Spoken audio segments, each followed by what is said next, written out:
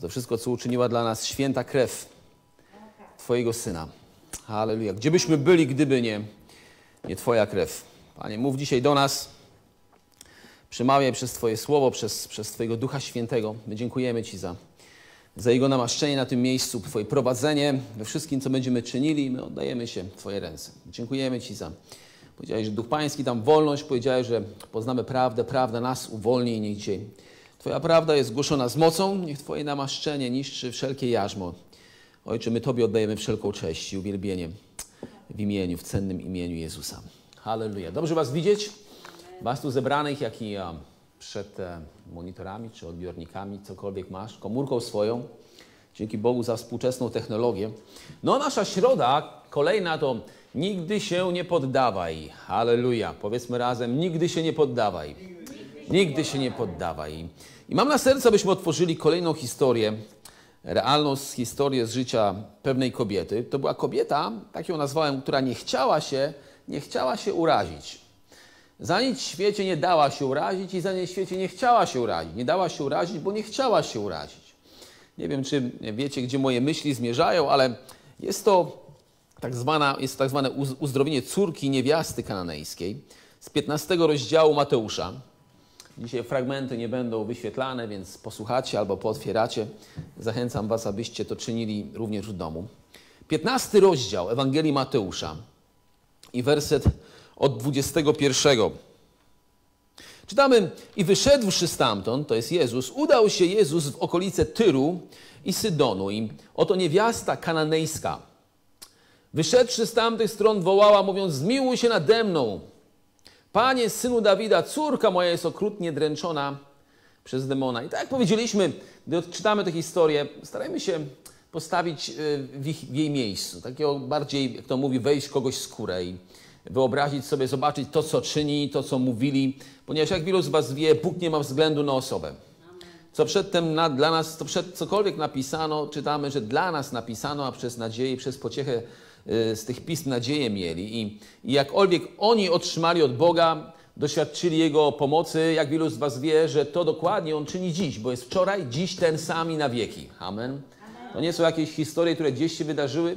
No, On jest ten sam wczoraj, dzisiaj i na, fakty, i na wieki. Faktycznie powiedział, lepiej dla Was, jeśli odejdę, bo jeśli nie odejdę, to, to pocieszyciel nie przyjdzie. Więc my jesteśmy w miejscu, gdzie jest lepiej dla nas niż ta nawet Kananejka. Tak Jezus powiedział. Nie ja, tak Jezus powiedział. On powiedział, lepiej dla was, kiedy odejdę. Amen.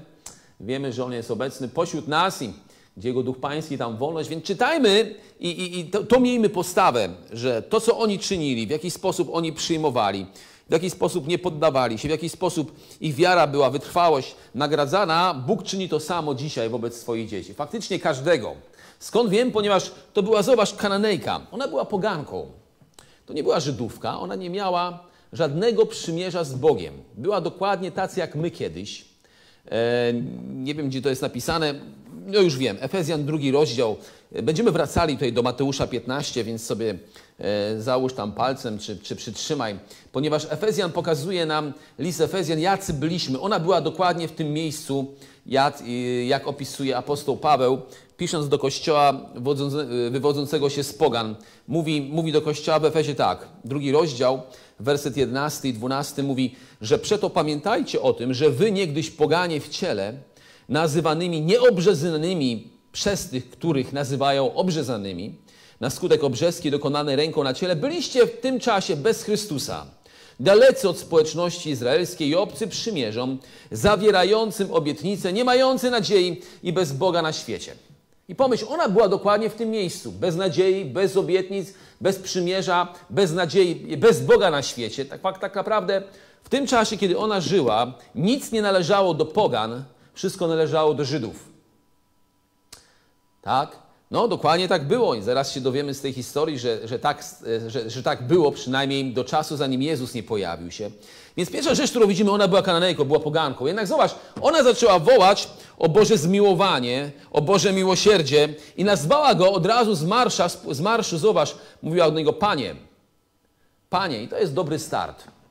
To jest dobry start. Kiedy człowiek, nieważne skąd on pochodzi, jakie ma pochodzenie, kim jest, czy on jest z Żydów, czy on jest z Pogan, czy on jest Polakiem, bez względu na to, kiedy on przychodzi do Boga i nazywa go swoim Panem, jeśli ustami swoimi wyznasz, że Jezus jest Panem, Jezus to znaczy IHWH jest Zbawicielem, dosłownie to znaczy Jezus, Jahwe jest Zbawicielem, nazwiesz Go swoim Panem, to tak naprawdę się człowiek nowo naradza, a człowiek nowonarodzony przyjmuje Boże życie, i Bożą naturę i przyjmuje kogoś, kto jest lekarzem. Ten Bóg Jahwe, który mówił, ja Pan Twój lekarz, On staje się Jego lekarzem. Bo jak wielu z Was wie, uzdrowienie to nie coś, uzdrowienie to ktoś. Tak? Ona wołała Jezu, synu, czy zmiłuj się nade mną, synu Dawida. No tak nazywali Żydzi Mesjasza, który miał przyjść, więc wiele słyszała o nim. Wiele słyszała o nim. No, wiele słyszała o nim i ona mówi, zmiłuj się nade mną, synu Dawida. Mówi, Panie, to jest dobre miejsce. Wyznaje człowiek Panem Jezusa i staje w miejscu, w którym wszystko, co jest w nim, bo przyjmuje Jego, staje się Jego udziałem. Czytamy, że boska Jego moc obdarowuje Go wszystkim, co jest potrzebne do życia i pobożności, staje się dosłownie uczestnikiem boskiej natury. Ustami wyznaje, że jest Panem, sercu swoim wierzy, że Bóg Go wzbudził z martwych i Biblia mówi, zbawiony będziesz. Kiedy spojrzysz na słowo zbawiony, jakimkolwiek słowniku e, takim, takim a, który, który jest słownikiem słów biblijnych, to znajdziesz, że słowo zbawiony równa się ocalony, uzdrowiony, uwolniony z niebezpieczeństwa w tym życiu już, nie tylko w tym przyszłym. Więc ona mówiąc, Panie, ona stawia się w miejscu, w którym, w którym może być dokładnie zbawiona. A dosłownie ona przychodzi w imieniu swojej córki. Mówi, córko moja, zobacz, córka moja jest, jest okrutnie dręczona przez demona. Ona wiedziała więcej niż wielu naszych rodaków, bo wiele naszych rodaków uważa, że kiedy są dręczeni, to Bóg ich dręczy. Nawet chrześcijan. Uważa, że Bóg zsyła im chorobę, czy cierpienie, czy doświadcza ich, czy chce czegoś ich nauczyć. Ta poganka pomyśl wiedziała, skąd pochodzi źródło udręki jej córki. I ona mówi, o to nie Jezus jej powiedział, to ona powiedziała, że to diabeł czyni. Wiecie, ciężko jest, ciężko jest modlić się do Boga o pomoc, czy prosić o uzdrowienie, gdzie jeśli człowiek ma gdzieś tą drugą myśl, to przekonanie w sobie, że może jednak to Bóg posłał na mnie, wtedy ciężko jest przyjść do Niego i tak naprawdę modlić się w wierze o pomoc i o uzdrowienie, czy jakokolwiek uwolnienie od Niego, jeśli się wierzy w tym samym momencie, że jednak Bóg miał cel i to On posłał, bo może zasłużyłem albo albo byłem e, jeszcze, no, muszę być bardziej uduchowiony, albo chcę mnie czegoś nauczyć. Halleluja. No pomyśl, jeśli tak człowiek myśli, nie za wiele przyjmie od Boga, bo jest, jest o, o rozdwojonej duszy, Biblia mówi. No ona, ona przynajmniej, to już jest wiele, ona wiedziała skąd pochodzi zło i skąd pochodzi dobro. Ona wiedziała skąd przychodzi udręka czy choroba, a skąd przychodzi jej rozwiązanie albo uzdrowienie. I to ona powiedziała, to diabeł czyni. To jest dobra rzecz. Przychodzisz do Boga, tak? Przychodzisz do Boga i upewnij się, że jesteś przekonany, że to, co się dzieje w Twoim życiu, to nie Bóg czyni, jeśli to jest zło, a Bóg jest rozwiązaniem, a nie moim problemem. Halleluja. Ona to wiedziała. Ona powiedziała więcej, wiedziała niż wielu chrześcijan. Ona wiedziała, że to diabeł czyni, że on zabija, niszczy i kradnie, a Bóg jest moim rozwiązaniem. On jest moim lekarzem. Ona nie wierzyła w, taką, w takiego Boga schizofrenika, że w poniedziałek uderza rakiem, a we wtorek uzdrawia z niego. W środę e, niszczy twój dom, czy spala twoją firmę do cna, e, bo żebyś, żeby cię uczynić pokornym, a, a w czwartek e, wzbudza ją znowu do życia. Ona w takiego Boga nie wierzyła, w schizofrenika, ona wierzyła w dobrego Boga, którego reprezentował Jezus, to znaczy Jahwe, jest Zbawicielem. Amen. Więc ona mówi: Pomóż mojej córce, bo jest okrutnie dręczona przez demona. I zobacz, werset 23 czytamy, że Jezus nie odpowiedział ani słowa. No, możemy powiedzieć, że ją zignorował. Czy tak nie było? No, no ona woła, on, on jej nie odpowiedział ani słowa, i czytamy dalej, i przystąpiwszy uczniowie jego, prosili go mówiąc, odpraw ją, gdyż woła za nami. Tak pozornie pomyśl, to wszystkie przeciwności, wszystkie okoliczności były przeciwko niej i wyglądało na to, że Bóg jest przeciwko niej. No tak wyglądało przez chwilę. Może nieraz zdaje ci się, że Bóg jest przeciwko tobie. Inaczej mówiąc, że On nie to, że, ci, nie, że, nie to, że pomaga, ale że tak naprawdę jest, jest autorem Twoich problemów i, prze, i przeciwstawia się Tobie wręcz. Tak mogło wyglądać jednak tylko pozornie. Czytajmy dalej. Zobacz, że ona nie poddała się, ona nie wycofała się. Ona, ona czytamy 24 werset, może 23. A on nie odpowiedział ani słowa. Uczniowie czytaliśmy, mówili, odpraw ją, gdyż woła za nami. A on, odpowiadając, rzekł, Jezus odpowiedział, jestem posłany tylko do owiec zaginionych z domu Izraela. Czy jak powiedziałem, tylko do Żydów oni mieli, oni mieli przymierze. No tak jej powiedział. Wiemy, że dokładnie najpierw zwrócił się Jezus do Żydów, dopiero później do pogan, kiedy w dużej mierze oni go odrzucili. Więc Jezus nie tylko, że jej nie odpowiedział, a teraz mówi, to co mam nie należy do ciebie. To jest do Żydów. Ty jesteś kanejką, jesteś, jesteś poganką. I pomyśl o tym. Myślę, że wielu na jej miejscu już dawno by się obraziło. Albo na Boga, albo na uczniów, bo oni ją odprawili, albo na Kościół dzisiaj, ale nie ona. Powiedzmy, nie poddawaj się nigdy. Albo poprawniej byłoby, nigdy się nie poddawaj. Amen. Lecz ona, zauważ, 25 werset, przyszła, złożyła pokłon i znowu nazwała go Panie. Tak? Ona złożyła pokłon, nie to, że się nie obraziła na niego ani na, na, na, na uczniów, nawet po tym, jak oni ją chcieli odgonić, on ją ignorował, przynajmniej tak to pozornie wygląda, a w końcu, kiedy przemówił, mówi, to nie jest dla ciebie, parafrazuję, skracam myśl, ale tak powiedział, to nie jest dla ciebie, to jest dla, dla moich braci Żydów, ty jesteś z pogan, a ona i tak przychodzi, składa mu pokłon i nazywa go znowu Panie i mówi znowu pomóż mi. Ona uwielbia go, oddaje, oddaje mu cześć, abyś to zobaczył. On, 26 werset, odpowiadając, rzekł, niedobrze jest brać chleb dzieci i rzucać szczeniętom. Tak? No, dla nas ten werset nic nie znaczy. Ona tu prosi o wolność dla dziecka, o uzdrowienie czy uwolnienie, a on mówi, niedobrze brać chleb dzieci i rzucać szczeniętom. E, no, jeśli kultury nie znamy, to dla nas to nic nie znaczy. Ale, ale kiedy zastanowimy się na chwileczkę, Jezus mówi dwie rzeczy tak naprawdę. Po pierwsze, pomyśl o tym, nazywa, po co ona przyszła? Ona przyszła po uzdrowienie albo po pomoc dla swojej córki, uwolnienie od, od demona, który ją dręczył. Czyli po pierwsze, Jezus, odpowiadając, niedobrze jest brać chleb dzieci i rzucać szczeniętom, mówi o tym najpierw, przyszedłem najpierw do dzieci Izraela, nie do pogan. On mówi, uważaj, uzdrowienie jest chlebem dzieci.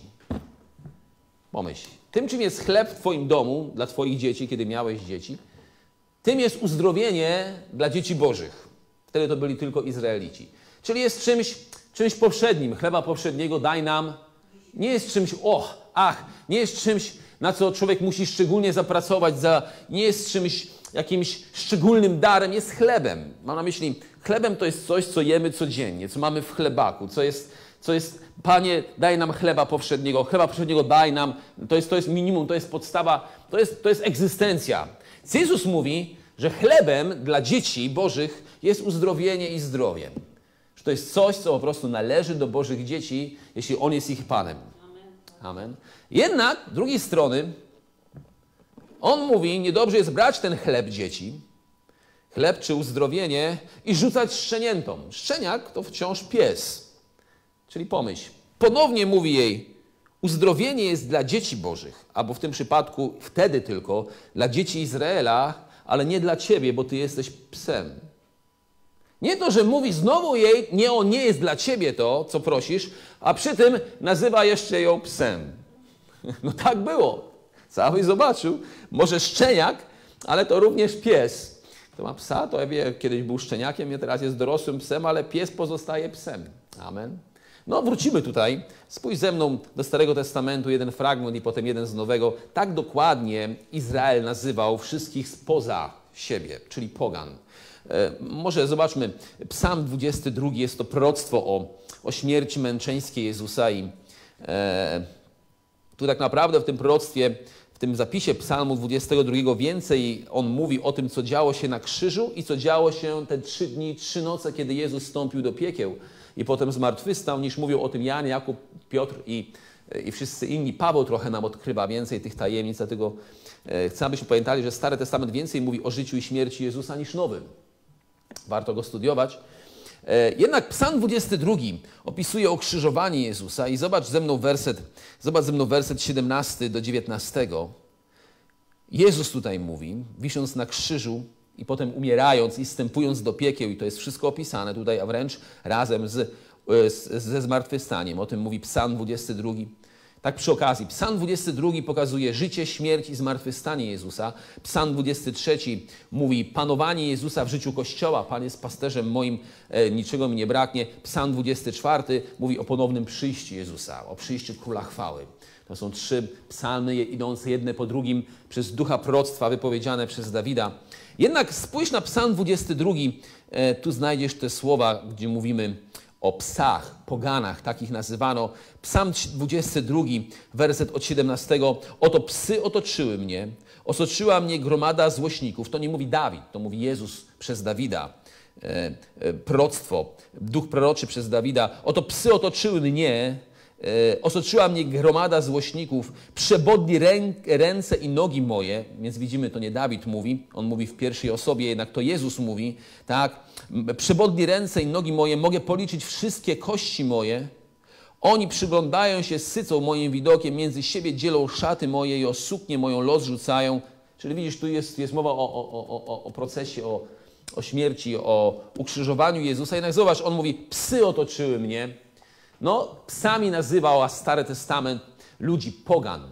Psami nazywał tych, którzy, których diabeł używał i tych, którzy byli grzesznikami. Więc kiedy Jezus do niej mówi, hej, szczeniaki, e, e, niedobrze jest brać chleb dzieci, w tym przypadku uzdrowienie i dawać psom i szczeniętom, on nazywa ją psem. On mówi, on podkreśla, ty jesteś pogan. Okay? Ta kobieta, chcę abyś zobaczył, ona swoją wiarą sięgnęła poza krzyż. Ponieważ dopiero kiedy Jezus umarł, tak naprawdę zbawienie zostało udostępnione dla całego świata. Dla każdego, nie tylko dla pogan. Wiemy, że w tej świątyni żydowskiej ta zasłona, która miała kilka metrów i długości bodajże, nie pamiętam, chyba 7 czy 10 centymetrów, może więcej, czy nawet 12, roz, roz, była rozcięta z góry do dołu. Boża chwała, czytamy, wyszła i Bóg przestał mieszkać w świątyniach ręką zbudowanych i, i zbawienie dotarło po krańce ziemi. Każdy mógł Go przyjąć już jako Pana i Zbawiciela i ludem Bożym stał się każdy przez wiarę w Jezusa. Ona, nie mając jeszcze wtedy prawa do żadnych błogosławieństw przymierza, do mocy krwi Jezusa, do czegokolwiek, co Jezus miał nabyć, ona już swoją wiarą, pomyśl o tym, gdzieś sięgnęła do przodu, to, co jeszcze dziś do niej należało, ona już na kredyt sobie to wzięła i Pan jej to dał na kredyt, podobnie jak bank daje Ci na kredyt samochód, e, mieszkanie czy cokolwiek innego, który spłacasz później. Ona chwyciła to, co nie należało do niej prawnie, ale Jezus jej to dał i powiedział, za chwilę to spłacę, jednak, jednak, jednak daję Ci to. E, no zobaczmy dlaczego. Zobaczmy dlaczego. Amen. Spójrzcie na jeden fragment z objawienia, który pokazuje ten sam obraz, gdzie Biblia nazywa psami e, grzeszników, tych, którzy nie należą do Boga. Wtedy byli to ludzie spoza Izraela. Dzisiaj wszyscy, którzy nie są nowonarodzeni, którzy nie przyjęli Jezusa jako swojego Pana i Zbawiciela. Jest to w objawieniu 22, werset 14. Już tu już wizja nowego nieba, nowej ziemi, końcówka objawienia Apokalipsy Jana. I werset 14 i 15, objawienie 22, werset 14 i 15. Błogosławieni, którzy piorą swoje szaty, aby mieli prawo do, do, drze, do, do drzewa żywota i mogli wejść przez bramy do miasta. Mowa jest o mieście najświętszym, tak? mowa jest o niebie. Na zewnątrz zaś są psy i czarownicy, i przetecznicy, i zabójcy, i bałwochwalcy, wszyscy, którzy miłują kłamstwo i czynią je. Więc psami nazwani są grzesznicy, ludzie, którzy nie przyjęli Mesjasza, którzy nie nowo, nowo się nie narodzili. Taka, taka dygresja, anegdota. Był u nas pastor, e, pastor a, z Danii. Rozmawialiśmy troszkę z nim, no jak to się rozmawia, poznajemy się. Pierwszy raz byli u nas i pytamy się go, czy ma jakieś czworonogi w domu. A on mówi, ja jestem biblijny. Biblia mówi, psy mają być na zewnątrz, więc, więc on miał, żadnych nie miał w domu. Cokolwiek było, to było na zewnątrz. Więc psy były na zewnątrz. Amen. Jednak po co to pokazuje? Po to, aby, abyśmy wiedzieli, yy, dlaczego Jezus to mówił. Dla nas to nic nie znaczy. Ona prosi córkę, o, prosi o zdrowie dla córki czy uwolnienie, a on nagle jej mówi o chlebie dzieci, który niedobrze jest dawać szczeniętom. Tak jakby, jakby go tam nie było, jakby, jakby Jezus, wiesz, no, no zbytnio nie, nie rozumiał w ogóle sytuacji i problemu. On dobrze rozumiał.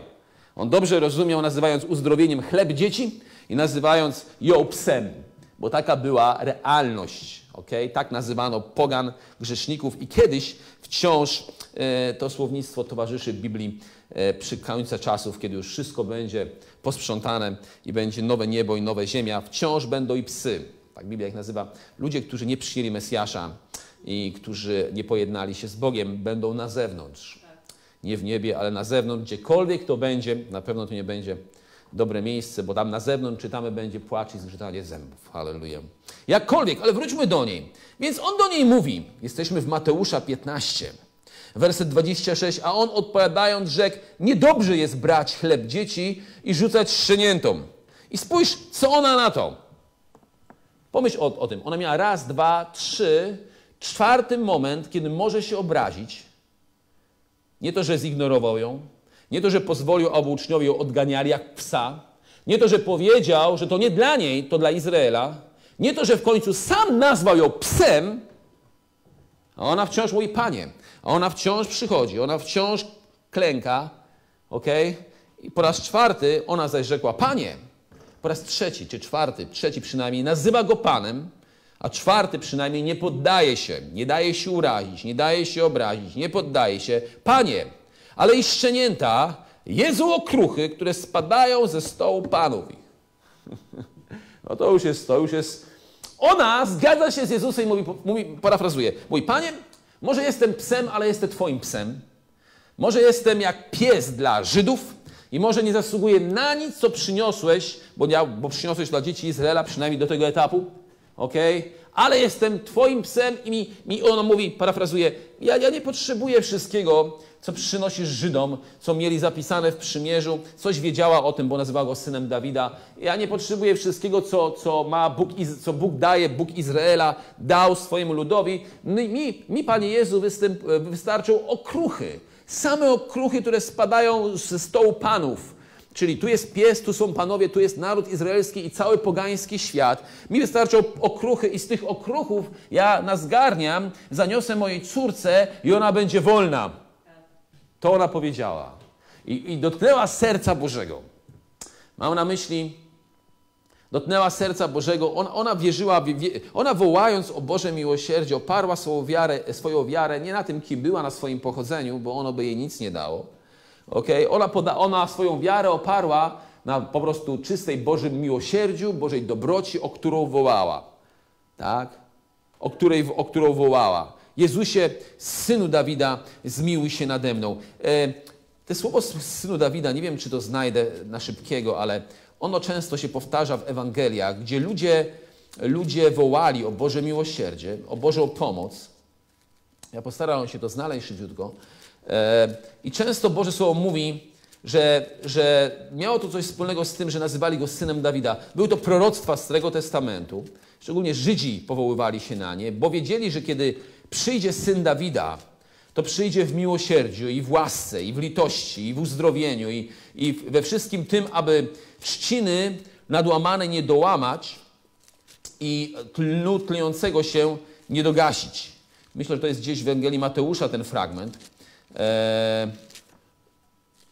tak przynajmniej mi się, mi się zdaje. Jest, jest. Jak powiedziałem, wrócimy do Mateusza rozdziału 15, a cofniemy się na chwileczkę do 12 i tam dokładnie jest ten obraz, może przeczytajmy od 15 wersetu. Posłuchajcie tego, tego fragmentu słowa, zanim wrócimy do naszej kobiety, do, same, do Kanejki. Jest to 12 rozdział Mateusza od 15 wersetu w dół. A gdy się o tym Jezus dowiedział, uszedł stamtąd, odszedł stamtąd i szło za nim wielu i uzdrowił ich wszystkich a przykazał im, aby nie ujawniali go, żeby się wypełniło, co powiedziano przez proroka Izajasza w słowach Oto sługa mój, 18 werset, wybrany, umiłowany mój, w którym dusza moja ma upodobanie, złożę na niego ducha mego, a on obwieści narodom sąd.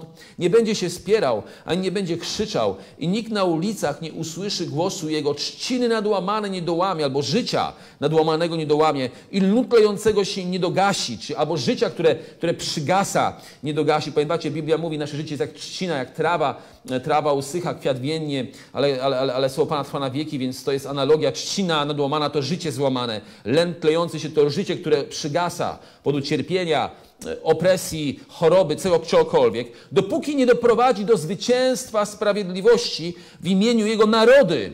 Widzisz, nie tylko, kiedy Biblia mówi narody, ma na myśli pogan. Ona była spogana. W imieniu Jego narody pokładać będą nadzieję. Wtedy przyniesiono do Niego opętanego. Jego córka była dręczona przez demona, pamiętajmy. Który był ślepy, niemy i uzdrowiony. Uzdrowił go, taki odzyskał mowę i wzrok. I zdumiony cały lud mówił, co? Czyż to nie jest syn Dawida?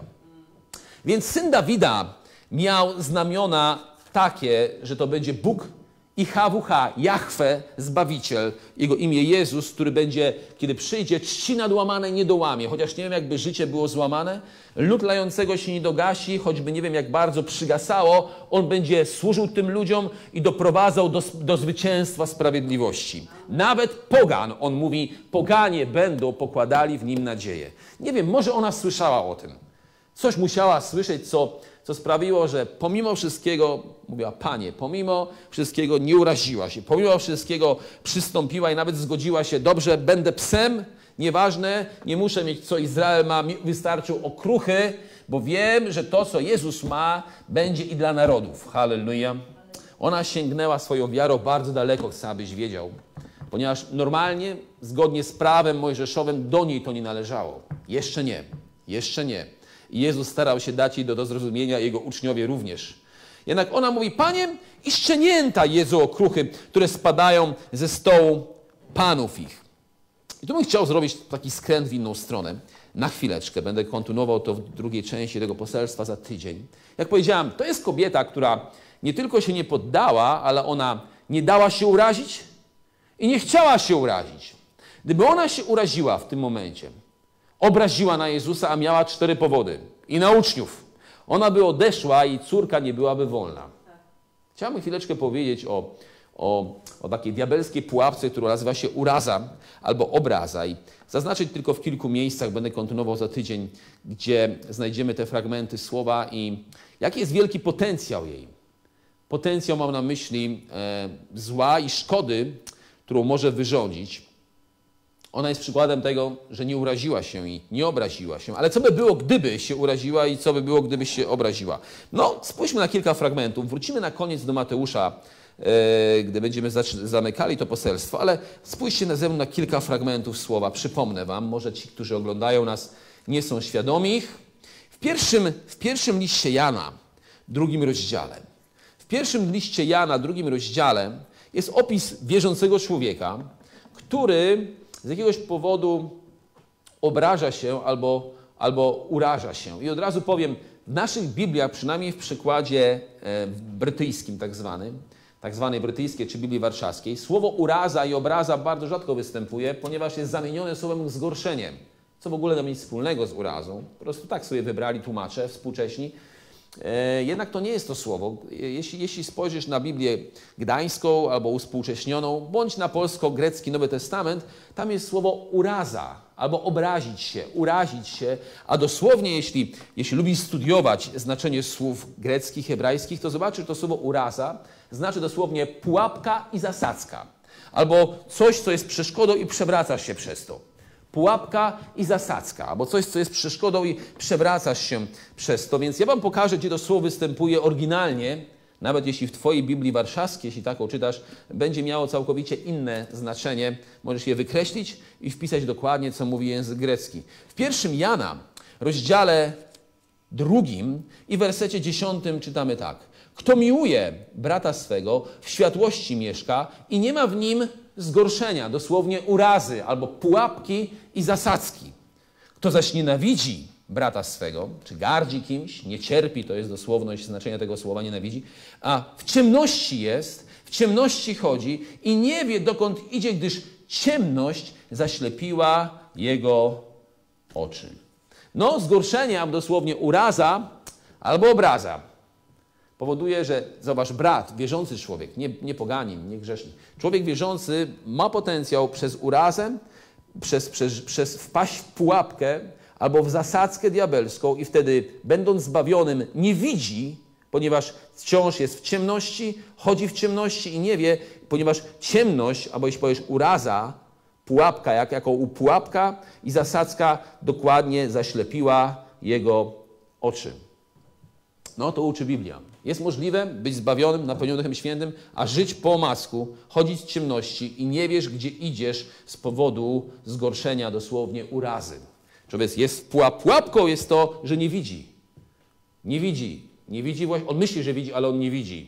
On chodzi w ciemności, gdyż ciemność zaślepiła jego, jego oczy. Pozwólcie, że pokażę Wam to słowo jeszcze w kilku miejscach. Na pewno je kojarzycie, może nie jesteście świadomi, że to jest to samo słowo, ponieważ Biblia Warszawska używa inne, ale jest to to samo greckie słowo. Uraza, obraza albo pułapka i zasadzka. Pamiętacie, kiedy Pan Jezus był w swoim rodzinnym mieście, mieście e, Nazaret, gdzie się wychował? Jest to szósty rozdział Mateusza. Tak, znamy ten fragment, jest od pierwszego do piątego wersetu, bodajże z najbardziej znany i cytowany w tym kontekście. Czytamy, że wszedł wtedy do tego miasta, to był Nazaret, udał się w swoje rodzinne strony i szli za nim uczniowie jego, jest to Mateusz, Marka 6 rozdział od pierwszego wersetu. I gdy nastał sabat, zaczął tam nauczać w synagodze i wielu słuchaczy zdumiewało się, mówiło, skądże to ma? Co to za mądrość, która mu jest dana i te cuda, które dokonują jego ręce i mówili, czyż to nie jest ów cieśla, syn Marii, brat Józef, Jakuba, Jozesa, i Judy, i Szymona, a jego siostry, e, czyż nie ma ich tutaj i gorszyli się nim. To słowo gorszyć tutaj e, nie jest słowem gorszyć, tak ktoś tam napisał, jest to słowo i urazili się nim. Obrazili, wpadli w pułapkę i zasadzkę. No w tym przypadku był naturalnie dla nich Jezusem z Nazaretu, braci i siostry jego znali, nierodzone, ale przyrodnie, chociaż oni nie wiedzieli, to są przyrodnie. Więc, a, więc postawili go na równie z wszystkimi innymi ludźmi i urazili się nim, obrazili się na niego. No to jest tak, w twojej rodzinie nieraz coś powiesz i obrażą się na ciebie. To dokładnie to samo było. Jednak oni wpadli w pułapkę, ponieważ namaszczenie, które było na nim, już nie mogło im pomóc. Duch Boży, który był na nim, by ich uleczyć i uzdrowić, już nic nie mógł. Oni wpadli w pułapkę i byli w ciemności, chodzili w ciemności i nie wiedzieli, gdzie idą. I wiemy, że tak było. Jezus mówi w wersecie czwartym: Nigdzie prorok nie jest pozbawiony czci, chyba tylko w ojczyźnie swojej i pośród krewnych swoich i w domu swoim. I nie mógł, to nie błąd, po prostu nie mógł. Nie to, że nie chciał, on próbował. Nie mógł tam dokonać żadnego cudu, tak Biblia mówi. Tylko niektórych chorych uzdrowił, wkładając na nich ręce. Więc on starał się, ale, ale nie był w stanie zrobić tych wielkich rzeczy i potężnych, jakie czynił w innych miejscach, czy w Kafarnaum, czy, czy gdzieś tam, gdzie, gdzie, gdzie się przemieszczał i mamy, mamy zapisy. Jednak zauważ, czytamy, że oni urazi, zgorszyli, dosłownie urazili się nim, obrazili się na niego i cokolwiek on pragnął zrobić, on nie mógł. No jest to diabelska pułapka, uraza i obraza. No Jezus wymienia ją, jeśli jesteśmy w Marka, cofnijmy się do czwartego rozdziału, pamiętacie przypowieść o siewcy, jedna z najważniejszych. Jezus powiedział, kto zrozumie tą przypowieść, pojmie, pojmie ją, pojmie wszystkie nauczania Jezusa. Tak On powiedział. Jeśli nie rozumiecie tego podobieństwa, to jakże zrozumiecie wszystkie inne, Jezus powiedział. A z drugiej strony, no, jest, jeśli zrozumiesz to podobieństwo i przypowieść, w sumie podobieństwo, to zrozumiesz wszystkie inne nauczania Jezusa. E, tak Jezus powiedział, więc warto spędzić czas na tym, na tym fragmencie słowa i tym podobieństwo o siewcy e, dużo czasu. I jedną, jeden, z powo, jeden z powodów, nie mamy czasu, by się w nią zagłębiać, ale jeden z powodów, dla których grupa osób, grupa ludzi tu opisana, e, nie wydała plonu. I, i, i, i słowo było zaduszone wręcz w ich życiu. Ok, spójrzmy, co to było. Werset 17. Wbijmy się, 4,17 Marka, wbijmy się w ten tekst. Ale nie mają, tak, zasianymi tam gdzieś, którzy byli zasiani na gruncie skalistym, tak, słyszą słowo, e, przyjmują je z radością, werset 16 i werset 17, ale nie mają w sobie korzenia, lecz są nie stali, a gdy przychodzi ucisk lub prześladowanie dla słowa, wnet się, i tu jest słowo gorszą, się urażają, obrażają. I czytasz dalej, plonu nie wydają. Zaduszone jest słowo w ich życiu. Więc Bóg chce uczynić coś wspaniałego, ale jest grupa osób, która się obrazi i urazi. I czytamy, yy, yy, słowo jest zaduszone, czytamy, plonu nie wydają. Tak? Ostatnia grupa tych, którzy, którzy słuchają i przyjmują yy, i wytrwałości wydają owoc 30-krotny, 60-krotny i 100-krotny Jezus poświęca jej, jej czas. Jesteśmy w Mateusza. Znaczy, wróćmy do Mateusza i spójrzmy jeszcze na to słowo i potencjał urazy i obrazy w życiu wierzących. Ten negatywny oczywiście, nie pozytywny. Chociaż mówimy to w świetle kobiety, która się nie dała obrazić, nie dała się urazić, nie poddała się. No, Jezus mówiąc o czasach ostatecznych, mówi również między innymi takie słowa. Mateusza 24, werset 10. I wówczas wielu się zgorszy to jest znowu to słowo obrazi, urazi.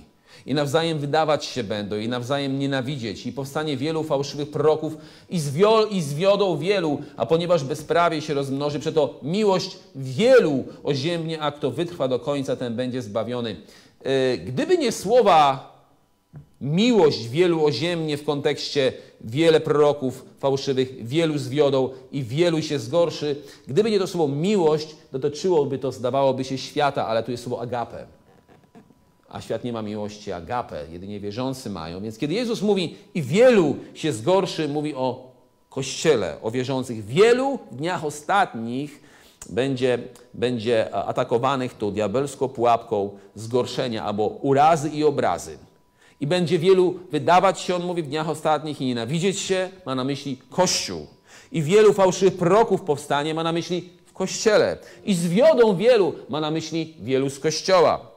A przy to, dlatego, że bezprawie się rozmnoży, przy to miłość, agapę wielu kogo wierzących e, e, e. A kto, kto kto z tych wielu, tych wierzących wytrwa do końca, ten będzie zbawiony i ta Ewangelia będzie głoszona po krańce ziemi na świadectwo wszystkim narodom i wtedy nadejdzie, nadejdzie koniec. Amen. My żyjemy gdzieś w tym kraj, Ukraińców wieków, jednak zwróć uwagę na te słowa, wielu się zgorszy, wielu się urazi, więc w tych dniach diabeł szczególnie będzie używał urazy i obrazy w ciele Chrystusa, aby wierzący urazili się. Powiesz na kogo? No, na Boga, na innych albo na siebie. Ale jeszcze spójrzmy na ten fragment. Zobacz ze mną Jana. Jana szósty rozdział. Czy pamiętacie historię, e, kiedy uczniowie Jezusa, albo część z nich przestała za Nim chodzić? Wiecie dlaczego? Bo się obrazili na Niego. No dokładnie tak było. Zobacz ze mną Jana szósty rozdział. Jana szósty rozdział. Jezus mówił tutaj o chlebie, że jest chlebem żywota. Tak, i mówił, mówił do, przede wszystkim do Żydów, bo takie grono ludzi miał wokół siebie, jeśli chodzi o jego uczniów.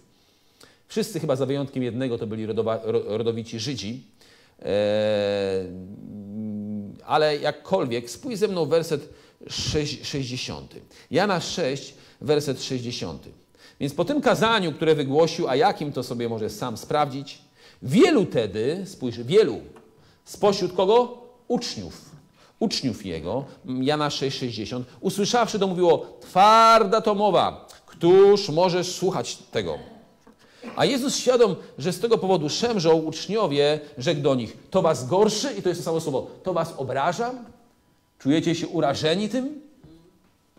Cóż dopiero, gdy ujrzycie Syna Człowieczego wstępującego tam, gdzie był pierwej, mówi duch ożywia, ciało nic nie pomaga. Słowa, które wam powiedziałem, są duchem i żywotem, lecz są pośród was i tacy, którzy nie wierzą. Jezus bowiem od początku wiedział, którzy są niewierzący, kto jego wyda.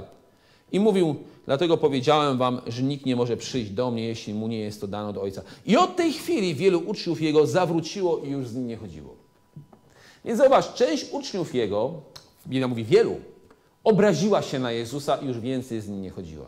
I on zwrócił się do tych najbliższych dwunastu w wersecie 67 i rzekł, czyli wy chcecie odejść? Dajmy powodu urazy, obrazy.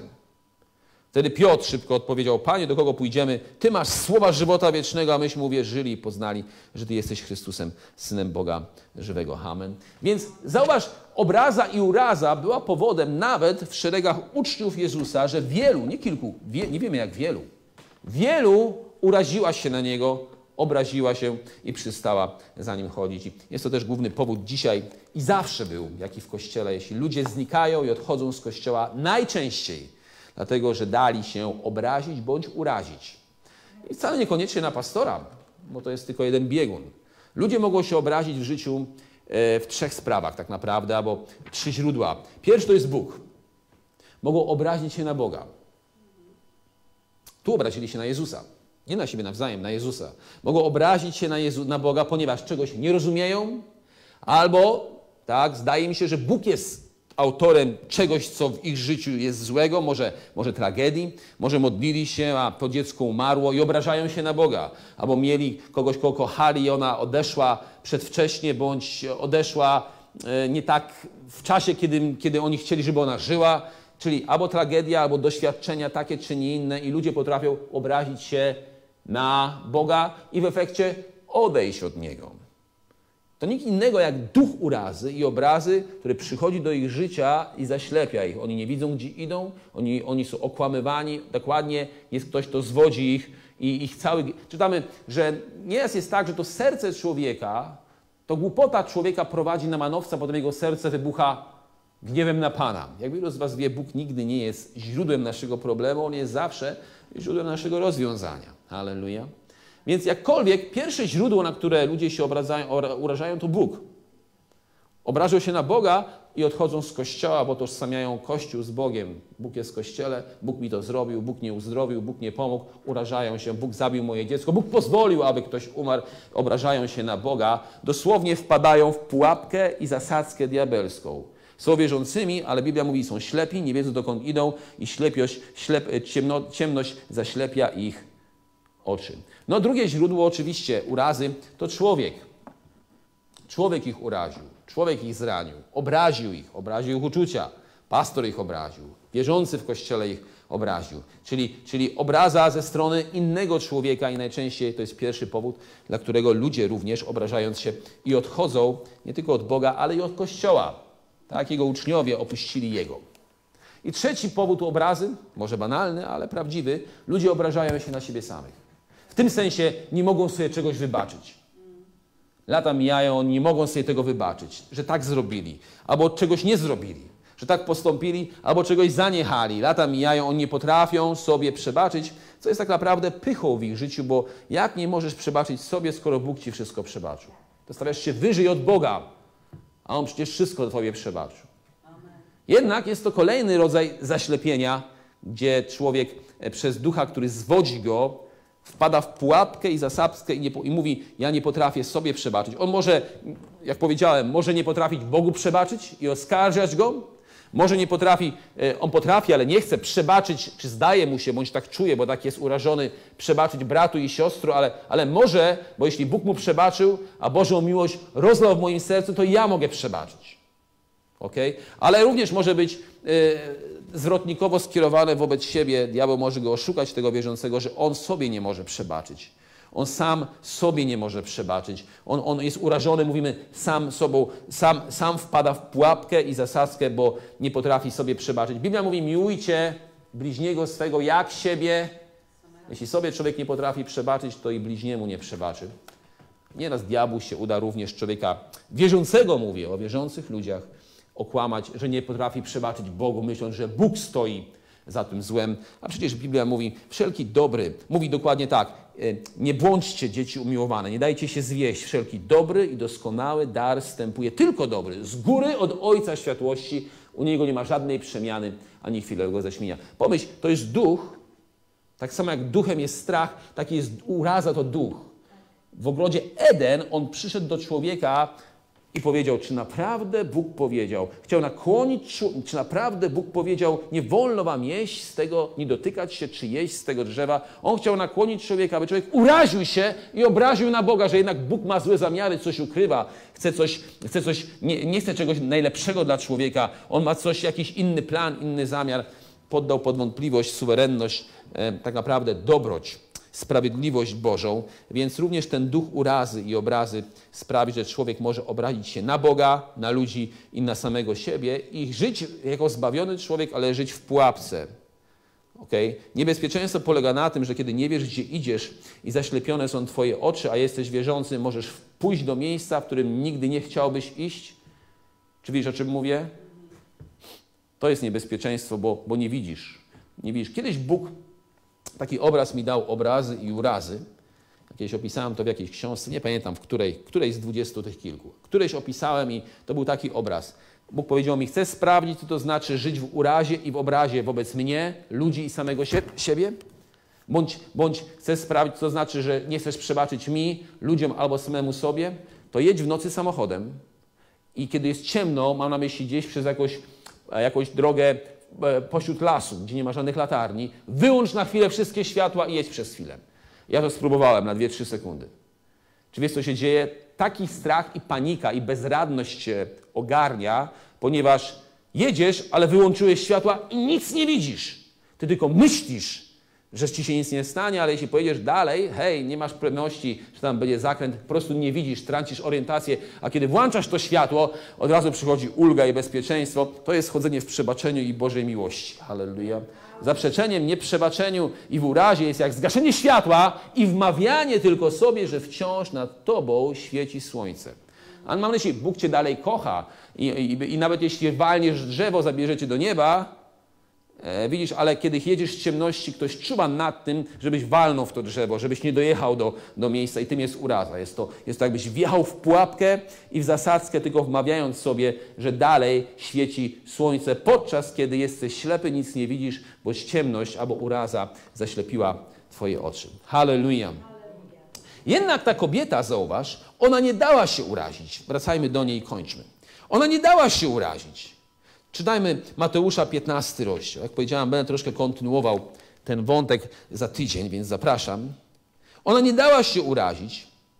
Chcę, abyś zobaczył, że werset 28 mówi: Wtedy Jezus odpowiadając, rzekł do niej. Jesteśmy Mateusza 15, 28. To jest po tym, jak ona powiedziała: Tak, panie, parafrazuję, jestem może psem, ale jestem Twoim psem. I wystarczą mi, wystarczą mi okruchy uzdrowienia dla mojej córki, uwolnienia. Ja wierzę w Twoją dobroć i miłość. I wtedy Jezus, odpowiadając, rzekł do niej, niewiasto, wielka jest wiara Twoja. Niechaj Ci się stanie jak chcesz. I uleczona została córka od tej godziny. Zanim parę słów kończąc, spójrz, co jest dalej napisane. Od 29 do 31 wersetu. A gdy Jezus stamtąd odszedł, przyszedł nad Morze Galilejskie, wyszedł na górę i usiadł tam i przystąpiło do niego mnóstwo ludu, mając z sobą chromych, kalekich, ślepych, niemych oraz wielu innych i kładli ich u nóg jego, a on ich uzdrowił. Takiż lud zdumiewał się, mówiąc, e, e, niemi widzą, kalecy odzyskują zdrowie, chromi chodzą, ślepi widzą i wielbili Boga Izraela. Więc, więc Jezus się nie zmienił dla niej. Pozornie wydawałoby się. Faktycznie on wiedział, że ona musi znaleźć się w miejscu, którym może sięgnąć po to swoją wiarą, ponieważ na ten czas nie należało to do niej. Należało do dzieci Izraela. Jednak pomimo tego, jak mówię, ona sięgnęła tą swoją wiarą, Bożą dobroć i miłość ponad zasłonę, jak Biblia mówi. Ona sięgnęła w swoje odkupienie. Ona poszła wiarą tam, gdzie On już powiedział, wykonało się. Ona, wierzała, ona wierzyła w Bożą dobroć i miłość dla wszystkich ludzi, nie tylko dla Żydów, ale również dla, dla pogan. Jednak chcę, abyś zobaczył, że Jezus nazwał jej wiarę wielką. Czym jest wielka wiara? Wielka wiara to ta, która nie poddaje się, która wierzy w Boże miłosierdzie i nie daje się urazić. To jest wielka wiara. Wielka wiara to ta, która nie poddaje się, wierzy w Boże miłosierdzie i nie daje się niczym urazić. Tak, Biblia mówi, nie dajcie się niczym zastraszyć. Tak możemy znaleźć między wersami, e, wersami słowa, nie dajcie się niczym również urazić. Okay? Nie, nie, dał, nie, wam, nie dał wam Bóg ducha, ducha strachu, ale ducha mocy, miłości, trzeźwego umysłu. Możemy powiedzieć, nie, wam, nie dał wam Bóg ducha urazy, ale ducha mocy, miłości, przebaczenia i zdrowego umysłu, e, więc nie przyjmujcie tego ducha. Ona nie przyjęła z tego ducha urazy. Ona miała wielką wiarę, a wielka wiara, zdaniem Jezusa, to ta, która nie poddaje się, wierzy w Boże miłosierdzie i nie daje się niczym urazić. Ani nie uraziła się na Jezusa, czyli Boga, ani nie uraziła się na uczniów, w tym przypadku byłby to Kościół, ani nie uraziła się nawet na, na samą siebie. Chociaż może miała jakiś powód. Nie wiem jaki, ale może no na pewno kto by, kto by błędów nie popełniał w życiu, myślę, że ona również jakieś popełniła, więc to najwyraźniej nie stanęło na przeszkodzie. Jednak spójrz, Jezus powiedział jej, niech ci się stanie jak chcesz. Zobacz, czego nie powiedział. Nie powiedział, niech ci się stanie jak ja chcę bądź niech ci się stanie według mojej wiary, mojej modlitwy. On powiedział, to jak ty chcesz, on powiedział, niech ci się tak stanie. I my wiemy, że on chciał dla niej dobrze i dla wszystkich. Widzimy dalej, co czynił dla innych i wiemy, że, że wiemy, że on chce zawsze dobrze. Jednak jeśli chodzi o relację człowieka z Bogiem, tu nie chodzi o to, co Bóg chce, co Bóg może, raczej chodzi o to, w co ja wierzę i co ja chcę. Tak? Gdyby Jezus powiedział, gdyby było inaczej, nasz Bóg by był Bogiem muzułmanów również, a On nie jest Allahem. Allah, al, muzułmanie wierzą, cokolwiek Allah chce, to się dzieje. Jechałem do domu, wyrżnąłem w drzewo i umarłem. Allah tak chciał, rodzina na cmentarzu mówi. Żyłem długo, Allah tak chciał. Nie, nie, nie. To nie jest, co Allah chce. Jezus mówi, co ty chcesz, niech ci się stanie. Czy widzisz, o czym mówię? To jest duża różnica. Bóg chrześcijan daje wybór wierzącym, co chcą. Niech im się stanie według ich wiary. Tak? E, e, nie według mojej woli, bo moja wola jest zawsze dobra. Jaka jest Jego wola? No cofnijmy się tego do Mateusza. Co On chce? Co On chce? Kończąc. No spójrzmy. Jezus pewnego razu powiedział do pewnego człowieka, co chce, a kiedy w, e, się wsłuchasz w słowa, w echa tego słowa, one wciąż brzmią tak, chcę, ponieważ On nie ma względu na osobę. Mateusza 8, kończymy. Mateusza 8, 1, 3. A gdy stąpił z góry, to jest Jezus, poszło za nim wielkie mnóstwo ludu. I oto trędowaty, przystąpiwszy, złożył mu pokłon, mówiąc: Panie, jeśli chcesz, możesz mnie oczyścić. A Jezus odpowiedział: Nigdy nie wiesz, co chcę. Nigdy nie wiesz, jaka jest moja wola. Albo musisz się pomodlić, co jest może moją. Idź pość! To może Bóg objawić Ci moją wolę względem Ciebie, czy chce, abyś był zdrowy i wolny. Nie, nie, nie. Jezus od razu wyciągnął rękę, dotknął się go, mówiąc: Chcę! Powiedzmy, chcę. Bądź oczyszczony, natychmiast został oczyszczony z trądu. Więc jego słowa chcę, bądź wolny, chcę, y, niech ci będzie przebaczone, chcę y, okazać pomoc, chcę, bądź uzdrowiony. One wciąż do dzisiaj, kiedy słuchasz się w ich echo, jeśli On jest wciąż dziś i ten sam i na wieki, one brzmią chcę. Jednak nie rozbiega się o to, co On chce, raczej, raczej o to, co, co my chcemy. Do jednego powiedział, co chcesz, abym ci uczynił, a widział, że potrzebuje e, e, uwolnienia z paraliżu. Halleluja. Bądź zdrowia. Więc ona jest kobietą, która nie poddała się, a dlatego, że Jezus nazwał tą, tą wiarę wielką wiarą, możemy się nauczyć, że wielka wiara to ta, która nie poddaje się, wierzy w Boże miłosierdzie i nie daje się niczym urazić. Halleluja. Wstajmy na tym miejscu. Panie, my dziękujemy Ci. My dziękujemy Tobie, że służymy Bogu wielkiemu, na którego nie musimy się obrazić, że mamy miłość, miłość rozlaną w naszych sercach i nie musimy urazić się, obrazić na ludzi ani na samych siebie. Możemy miłować innych tak, jak Ty umiłowa, umiłowałeś. Możemy miłować innych, jak siebie miłujemy. Możemy przyjąć miłość i dać miłość i stanąć w miejscu, którym on, którym ty możesz się spytać, co chcesz, abym ci uczynił i nie ma żadnej bariery ani przeszkody, by przyjąć od siebie. Panie, my dziękujemy Tobie, my dziękujemy Tobie. To jest przykazanie, aby wierzyli w Ciebie i miłowali się nawzajem. Ojcze, ja modlę się o tych, którzy oglądają ten program, to nabożeństwo. Jeśli, nie, jeśli są w miejscu, w którym są urażeni i obrażeni na Ciebie, objaw im, że mogą, a, mogą, mogą, mogą przebaczyć Tobie. Może to brzmi kuriozalnie, ale mogą, mogą powiedzieć, Panie, przebaczam Tobie, chociaż Ty nie zawiniłeś. Ty powiedziałeś, przebaczcie, a dostąpicie przebaczenia, co dosłownie zna, oznaczy uwolnijcie, a dostąpicie uwolnienia. Panie, ja modlę się o każdego, kto zboryka się z przebaczeniem, z urazą wobec Ciebie, każdego, kto boryka się z urazą wobec brata, siostry, pastora, lidera, kogokolwiek w ciele Chrystusa, czy w swojej rodzinie.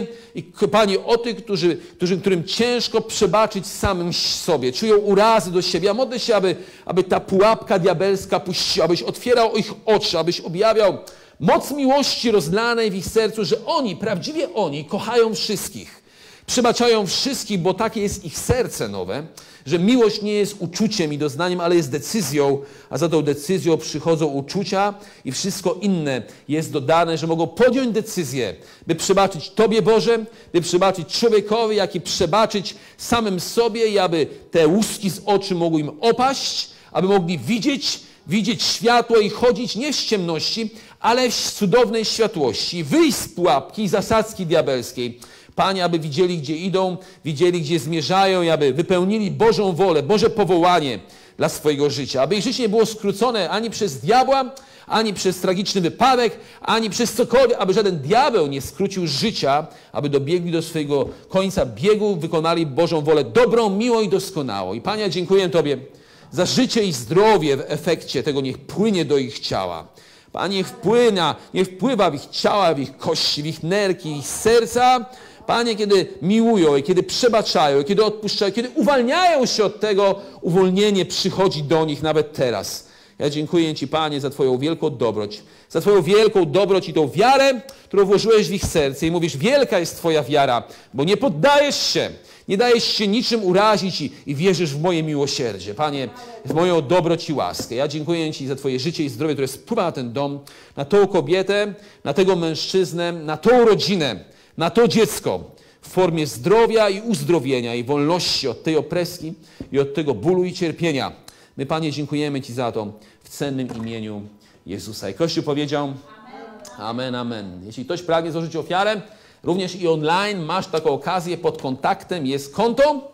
Również niebawem będzie i płatność elektroniczna, więc dziękujemy za każde wsparcie tego Kościoła e, w imieniu, w cennym imieniu Jezusa. Dobrej nocy, z Bogiem, miłych snów.